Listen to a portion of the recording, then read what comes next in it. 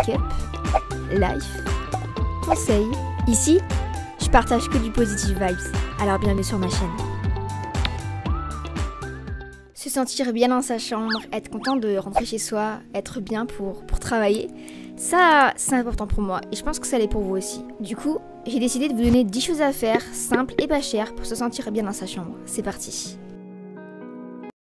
j'espère que tu vas bien. Aujourd'hui, je te retrouve dans une nouvelle vidéo qui, je pense, va être pas mal utile. Et c'est une vidéo qui va précéder un room tour que je ferai prochainement sur ma chaîne YouTube. Quand on est adolescent, on passe beaucoup beaucoup de temps dans sa chambre. Et pour moi, c'est vraiment très important de s'y sentir bien. Du coup, c'est pour ça que je fais cette vidéo là aujourd'hui parce que je vais vraiment vous donner des conseils, des co, des conseils vraiment pour que tu puisses te sentir bien dans ta chambre parce que c'est très important. Donc c'est parti